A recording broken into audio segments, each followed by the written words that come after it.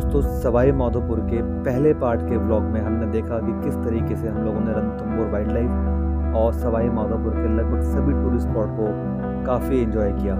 अब बारी थी एक ऐसे रोमांच को अनुभव करने की जो शायद आपको हिंदुस्तान में कहीं और देखने को नहीं मिलेगा। क्योंकि अब मैं जा रहा था रणथंबोर से लगभग 35 किलोमीटर दूर एक ऐसी जगह पे जिसको हिंदुस्तान की सबसे खतरनाक नदी कहा जाता है। क्योंकि इस नदी में है खतरनाक मगरमच्छ और घड़ियाल। और मैं इसमें करूँगा बोट सफारी और इससे रिलेटेड सारी इन्फॉर्मेशन दूँगा आपको मैं इस ब्लॉग के अंदर। और दोस्तों, अगर आपको ये वीडियो पसंद आए तो आप इसको प्लीज़ लाइक और शेयर ज़रूर करना। और जो भी न्यू व्यूअर्स पहली बार मेरे चैनल को देख रहे हैं, आप चैनल को ज़रूर सब्सक्राइब करिएगा। तो बिना देरी किए हुए करते हैं आज के सफ़र का आगाज़ शुरू। दोस्तों, Chambal wild life sanctuary open होती है अक्टूबर से लेकर जून तक हर साल और इसमें आपको करानी होती है एडवांस बुकिंग, बोट राइडिंग करने के लिए। बोट राइडिंग बुक करने के लिए जो एजेंट का मोबाइल नंबर है, मैंने वो डिस्क्रिप्शन बॉक्स में मेंशन कर दिया है। आप उस नंबर पे कॉल करके अपनी एडवांस में बुकिंग करा सकते हैं। Five hundred rupees per person ticket है बोट राइडिंग का, जो कि फोर्टी फाइव मिनट्स की होती है। लगभग यहाँ तीन लोगों की दर्जनों की मौत हो चुकी है।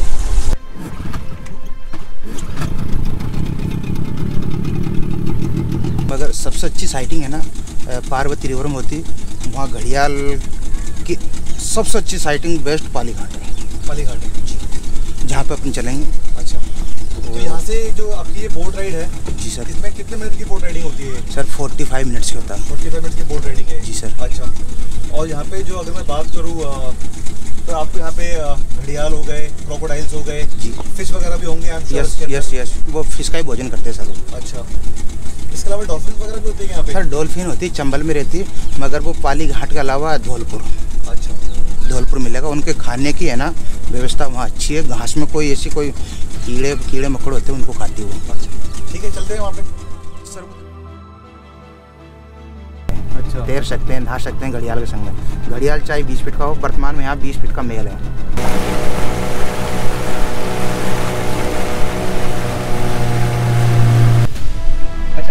एक बात और बताइए आप। जी सर। हाँ, पूछिए सर यहाँ पे कोई ऐसा खतरा तो नहीं है क्रोकोडाइल से?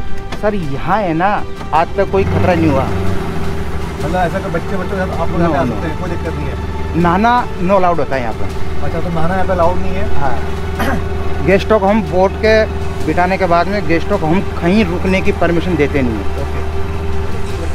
अभी हम लोग जा रहे हैं पार्वती रिवर की ओर सामने की तरफ़। और सामने का जस्ट मध्य प्रदेश।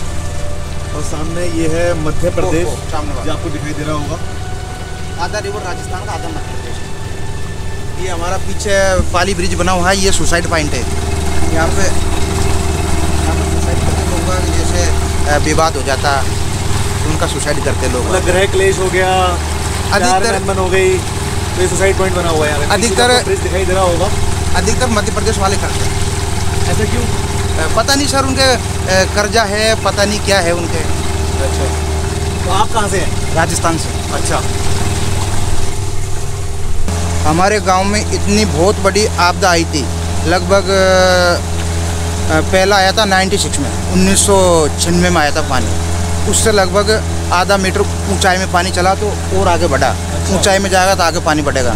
तो हम लगभग पेट्रोल पंप है ना उस पर जाके निवास किया और हमारे शेठ जी ने व्यवस्था की। चतर सिंह मान्य चतर सिंह ब्लॉक अध्यक्ष कांग्रेस के यहाँ से। इस पॉइंट पर लगभग सत्तर से अस्सी घड़ियाल हैं। और क्रोकोडाइल? क्रोकोडाइल लगभग सौ से डेढ़ सौ। तो गाइज़ अभी मुरारी जी ने हमें बताया है कि यहाँ पे जो घड़ियाल हैं उनकी जो संख्या है वो अराउंड सत्तर से अस्सी के बीच में है और जो क्रोकोडाइल्स हैं वो लगभग डेढ़ सौ के करीब है यहाँ पे।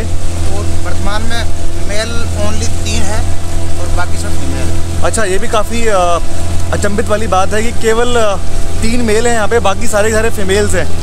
तो बस अभी वहाँ पहुँचने वाले हैं हम लोग। मैं काफ़ी एक्साइटेड हूँ। जब इनकी वो होती ना कहीं नाम से नेस्टिंग होती इनका ब्रीड होता तो फ़र्स्ट में घड़ियाल फीमेल पंद्रह अंडे डालेगी।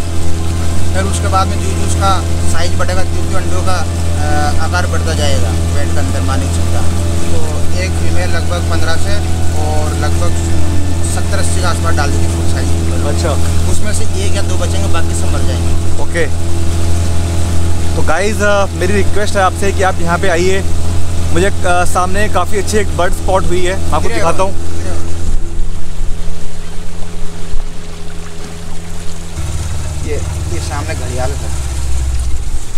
है हाँ हाँ तो हमें अपना पहला घड़ियाल स्पॉट हुआ है। No no sir crocodile sir crocodile है। यस पहला क्रोकोडाइल हमें स्पॉट हुआ है यहाँ पे। स्विमिंग करता हुआ देखिए कोई भी डर नहीं है इसको। अपनी मस्ती में बैठा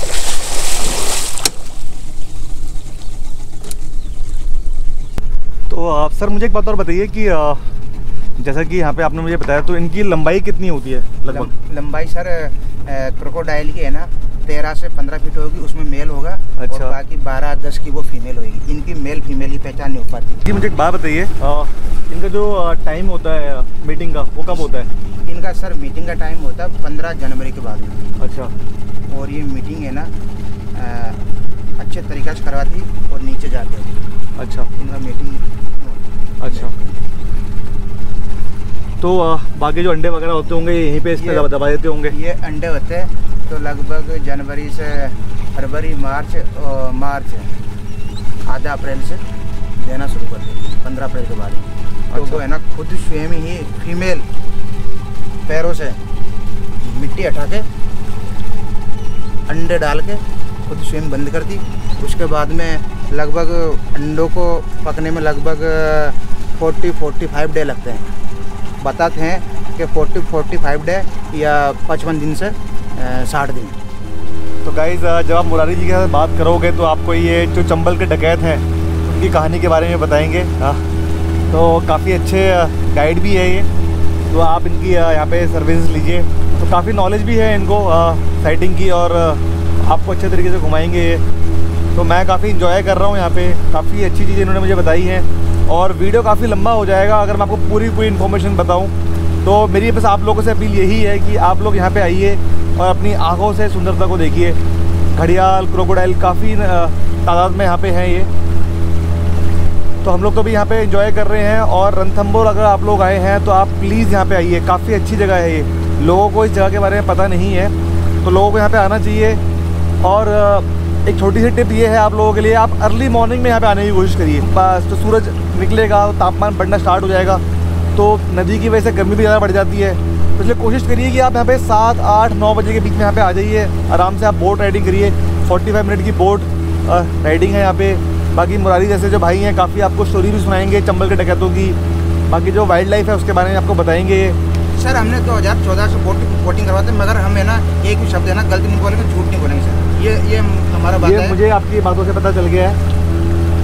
हमें तो- जो सत्य बात होगी ना उसी को बोलेंगे और देखिए लाइफ जैकेट आप हमेशा पहनना। मतलब लाइफ जैकेट अगर आपको बोट वाले ना दे रहे हो तो भी आप उसकी डिमांड करना क्योंकि काफ़ी खतरनाक रिवर है ये।